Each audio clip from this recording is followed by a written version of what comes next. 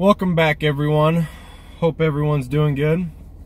Um, sorry, I'm a little hot and sweaty. I just just got done chaining up the load. Um, so, but I wanted to talk to you guys about um, what a, an average week of hot shotting looks like for me, money wise.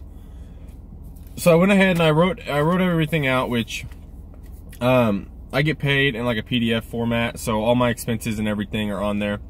But it's on my phone and I'm recording on my phone, so I wrote everything out. And so I'm just I'm going to tell you guys some real world numbers of I mean this is a pretty pretty typical week for me. Um, so my gross total, so this is from Tuesday to Tuesday is what my pay period is for the company. So it's Tuesday to Tuesday and then I get paid on Fridays. All right. So any load between Tuesday and Tuesday uh, is what is what this is referring to and this is for last week.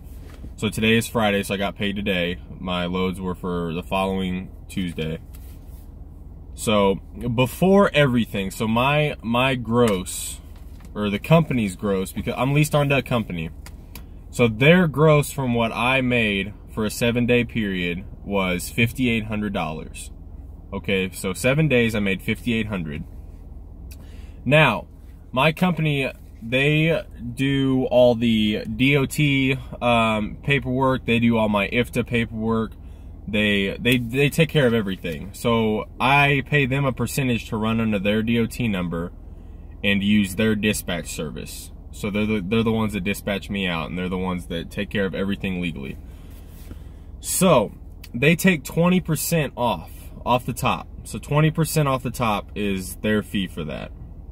And then they take 5% for the trailer. So they cover all the maintenance on the trailer. Any tires, um, let's see, um, the hubs, I mean, all that stuff that's, and then uh, the brakes that are getting ready to get replaced on it.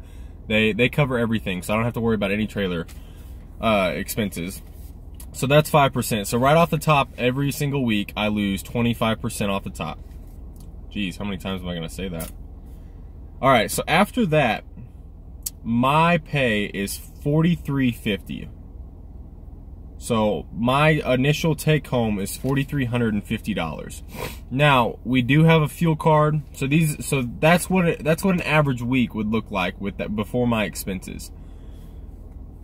We have a fuel card. We have roadside service. I have to pay for my uh, eld each week and my insurance and my pre-pass that i just got so 4350 is what you're looking at. And then my fuel for that week, which I did a lot of miles. So my loaded miles was the miles that I had to load on my trailer for that week was 2,965 miles. So that's not counting any deadheading. So on average, I run, that's, that's about a, yeah, that's $2 a mile. So $2 a mile before expenses is what we normally try to hang around. So that's not bad. So my fuel, so that's quite a bit of loaded miles plus my deadhead miles. My fuel for last week was $1,358.53. My roadside service, so the roadside company that we use that we can call anytime, they don't charge us a fee for it, that's what we pay weekly for, is $17 per week. My ELD is $8 per week. And this is something that the company just that I just seen on this on this paycheck this week was uh, that they are paying my, they're pulling out my IFTA money per week now. So that way you don't have to try to pay it in at the end of the year or anything like that. So they're pulling it out per week. So for my IFTA, for the states that I was in, it was $38.50 for last week. And then my pre-pass. So my pre-pass covers all my tolls and uh, my bypass, all the way stations and all that. So that's not counting the tolls. That's not counting the cost of the tolls. So my toll cost for last week was $60. My pre-pass fee to use it weekly is $25. Okay. And then my insurance is $250 a week for my commercial insurance. Um, and then food. My food, so I didn't eat out at all last week, actually. So I spent $55 um, at a meal prep uh, meal prep store in Oklahoma, which if you guys go back and watch some of the other videos, you'll see that. And then I had $30 of food that I meal prepped at the house before I left. So my food, which I didn't eat at any truck stops, I didn't eat no candy, no gum, no nothing. So it was $85 for the week. So if you add everything up, my fuel, my roadside, my ELD, my IFTA, my pre-pass, my insurance, my tolls, and my food, it came out to be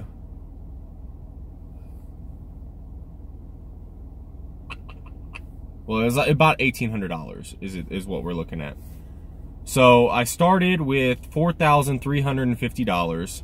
And then after all my expenses for the entire week, um, my official take home was $2,541.63. So I don't know if that helps you guys at all. But there's the there's the big number. So 2500 bucks a week is what it comes down to. And that's after all my expenses is 100% paid. So the only thing that I have out of pocket after that is going to be my weekly truck payment, which I pay, I pay monthly, and then any maintenance. So a lot of guys that I see on some other channels, um, I'll give uh, Truck and Travel a shout out.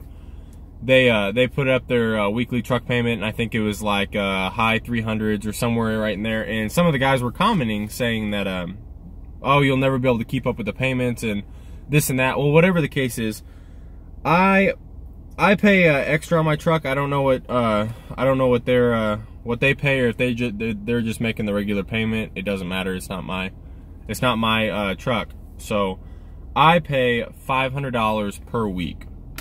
So it comes out to be two thousand dollars per month. But I do a lot of miles. I average over twelve thousand miles a month. So I pay two grand a week. My truck payment per month is a little over eleven hundred. So um, $2,000 a week. And the way I figured it up is I kind of did like what, how many miles, so three years I would have about 350,000 miles and I wanted to have the truck paid off uh, no later than three years. So I think I'm on pace to do it in like two years and nine months or something, something like that. Um, 12, 24, 48,000. Yeah, so so a little over like a little less than three years is what I have. So I have it on pace to have my truck paid off at about three hundred thousand miles on it. So that's that's just how I do it. I I make enough. Uh, I mean, obviously, if I have bad weeks or I take a vacation or I take the week off or whatever the case may be, then I don't make the full two thousand dollar payment. I'll do like fifteen hundred or seventeen fifty, something like that. But on average, I try to do two thousand dollars a month on my truck. So that drops me down to $2,000 um, in take home. So that's kind of uh, what some real world numbers look like for you guys of what you can make uh, doing Hot Shot. So after all my expenses, which my expenses are extremely low, I didn't stay in a hotel the entire week.